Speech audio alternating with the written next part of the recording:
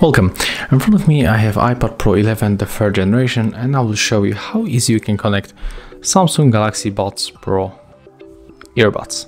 So let's go for the settings on our iPad, go for the Bluetooth settings, tap on the switcher to enable Bluetooth and then open charging case of our Samsung Galaxy Buds Pro, just like that.